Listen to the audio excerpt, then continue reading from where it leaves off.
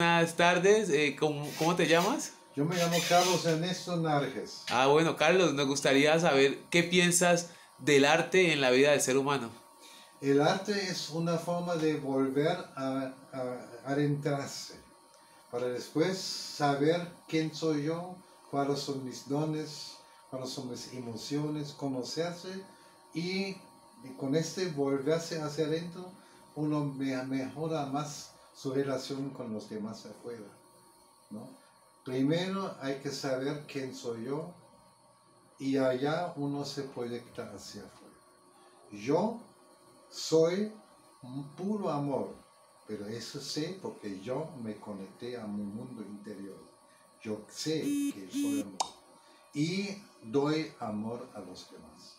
Que mi consultorio es tan bien conocido y reconocido es que la gente se siente atendido amorosamente. Y eso se puede hacer, y lo logré yo, porque yo me conecto a mi mundo interior, donde está el amor. Epa, muchas gracias. Listo.